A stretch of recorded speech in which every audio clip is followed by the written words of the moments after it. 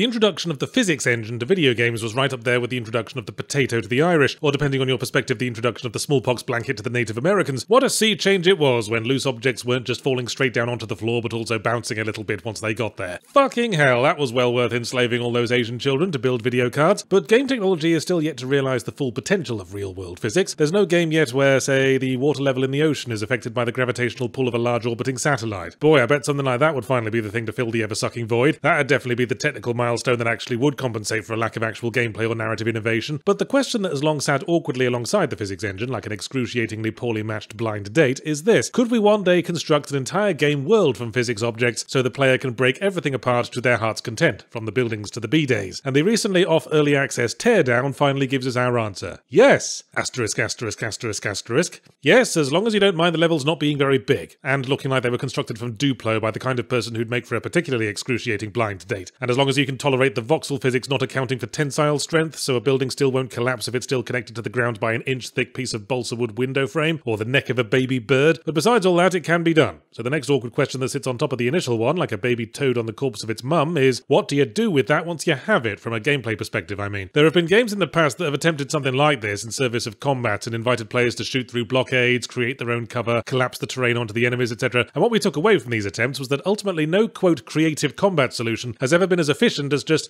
pointing the gun at the thing and holding down fire until the thing dies. Alright then, what if you just made a game about demolishing buildings? That seems to have been the initial concept of teardown, which I cunningly deduce from the fact that it's called teardown, and the very first level requires us to demolish a building. But while there's certainly catharsis in destruction, it's as fleeting as a hastily reached orgasm, especially in the moment after it passes when you have to think about who's going to clean up the mess. And teardown's physics were frequently giving me the destruction blue balls, because of the aforementioned baby bird neck issue. And even when I did successfully separate a building from the ground, half the time it wouldn't fall over, but just drop three inches and stay there, like the upper portion of a wall of Tetris blocks. But to Teardown's credit, it swiftly realizes that this is overthinking the issue. If you've created a world where anything goes, the thing to do is simply give us a relatively simple task, and then reward us for finding abstract, lateral, or maximally efficient ways of achieving it. You know, like how Scribblenauts would give us an egg and a stove and tell us to make an omelette, and then we'd achieve that by dropping a speedboat onto the kitchen counter from the top of Cthulhu's head. So the bulk of Teardown's missions are heists, and this is where the game came into its own for me. There'll be a range of objectives scattered across the map, items to steal or computers to touch or heretic babies to baptize, and as soon as you do the first one, an alarm sounds and you've got one minute to sprint around dunking all the remaining babies or whatever and leg it back to the car. So here the game becomes about strategically planning the optimal route and lateral thinking. Should we sledgehammer our way through a fence, extend a plank from a shed roof to a window, blow torch off the grill, and blow a hole in one of the interior walls to access the objective, or is it quicker to do something tragically quaint like use the door? I got weirdly into this, using the provided spray paint to mark my route and drilling my intended sequence of actions into myself over and over. It gave me the same kind of weird weird satisfaction I get from drawing up a work schedule for myself in Microsoft Excel, neatly arranging and color coordinating all the boxes, and then looking at it and going, boy, this would hypothetically be an efficient use of my time, before slumping down in front of a pile of empty Funyun bags and binge watching Leisure Suit Larry speedruns. New, different kinds of heists with different rules keep things from getting samey. There's one where you have to get a bunch of heavy safes out of a building without letting them get rained on, so I dragged them to an elevated room, parked a truck underneath it, and smashed a hole in the floor. And I was so pathetically proud of myself, I spent 10 seconds of my funny internet video bragging about it. But I'd say the game suffers as it goes along and piles on more and more tools and weapons for you to use. Very amusing for sandbox mode, I'm sure, but it means we no longer have to plan around preserving our limited shotgun blasts for the few select and most deserving walls on the route. Upgrade your shotgun once and it gives you twice as many shells. You might as well just tunnel from one objective to the next in perfectly straight lines, and then it starts introducing missions that are barely about fun heist planning at all. One of them's just a fucking car race. Where's the lateral thinking in that? I suppose you could cut across rougher terrain, but all the drivable vehicles are held together with Pritt Stick and dubious pinky promises promises, so all the tyres get sheared off if you drive too fast over a discarded crisp. And then there are missions where you have to deal with enemies with guns. In a video game, no less. What's the world coming to? And suddenly, the closest thing to lateral thinking on offer is the route by which a bullet gets from one side of your brain to the other. So I guess at the end of the day, Teardown is pretty much what it looks like a physics experiment first and a game second. It casts a broad net of gameplay challenge, some of it hits and some of it misses, and the destruction wasn't quite as inherently cathartic as I'd hoped. Possibly because it looks like Lego, and taking apart Lego structures is only amusing up to the point you finally break your child's resolve. Although I should mention the fire. The fire physics in this game are actually fucking amazing. As an experiment, I briefly touched my blowtorch to a bedspread in a wooden building to simulate a carelessly dropped cigarette, and watching the whole place go up was slightly worryingly hypnotic. I finally understand what that weird kid in high school was talking about in the weeks that preceded the incident. There's something absorbing about seeing a peaceful and orderly construction being slowly and inexorably destroyed by an ever-spreading, all-consuming chaos. I should take your mum to the buffet restaurant more often.